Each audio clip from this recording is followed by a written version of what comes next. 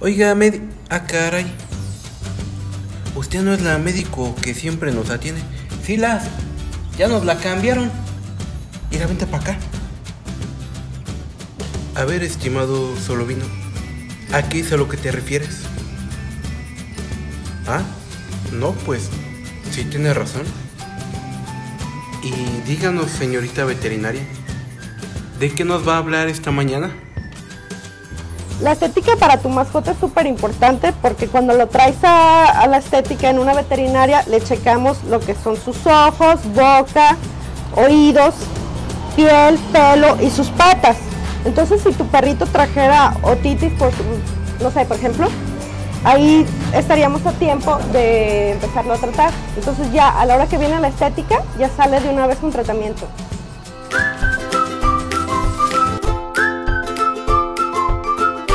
Información para ti y tu mascota.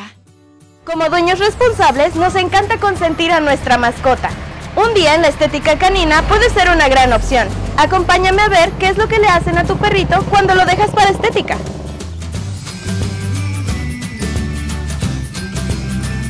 Entonces a estos perritos comenzamos primero con el corte de pelo. Se marca más o menos cómo va a quedar.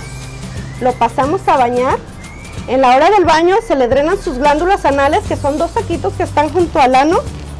Y esos saquitos tienen la función de producir un líquido para que ellos a la hora de evacuar lo hagan más fácil, lubrica. Entonces esos saquitos con el tiempo se van llenando de líquido y si no se drenan puede causar un absceso y al rato se le revienta una infección y etc.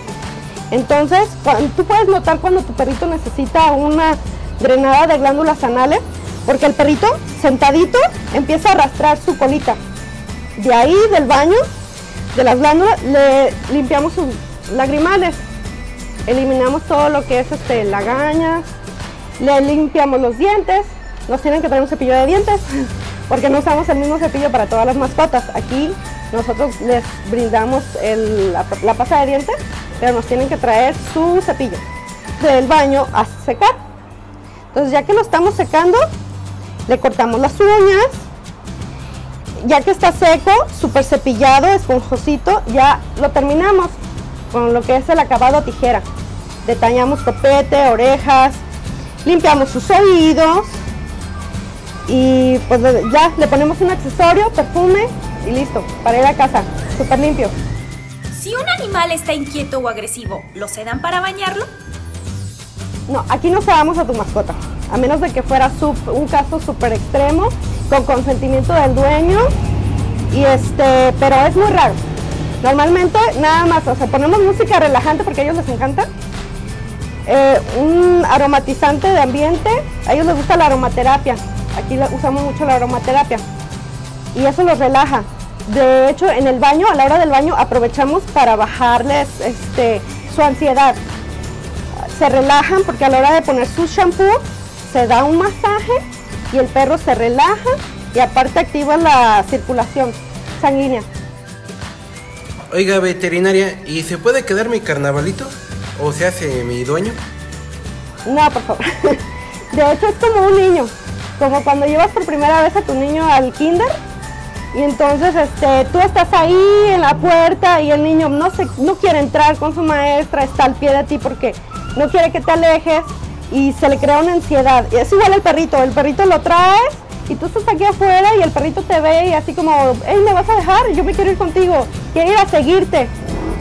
Pero en cuanto tú te vas, ya que no le no llegue el aroma del dueño a la mascota, él se relaja completamente, se deja hacer todo. Y si llegan antes del tiempo que quedamos para recogerlo, igual, el perrito comienza súper ansioso porque ya le llegó el olor de su dueño, quiere bajarse de la mesa, luego ya no nos deja trabajar a gusto con él y él está ansioso y esa ansiedad les causa temblor, porque hay veces que dicen, ay, ¿por qué está temblando el perrito? ¿Tiene miedo? No, no tiene miedo. Es ansiedad, porque está el dueño aquí presente. Pero no tiene miedo, no tiene frío, es ansiedad. ¿Qué productos utilizan para bañarnos? Bañamos, usamos solo champú de uso veterinario. ¿Por qué? Porque el perrito tiene un pH neutro de 7.0 Y el de uso humano es ácido, es de 5.5. Entonces, si tú usas un shampoo de uso humano en un perrito, tu perrito se le va a resecar muchísimo la piel, el pelo súper seco y sin brillo y hasta puede causar una alergia. Aquí usamos todo de uso veterinario.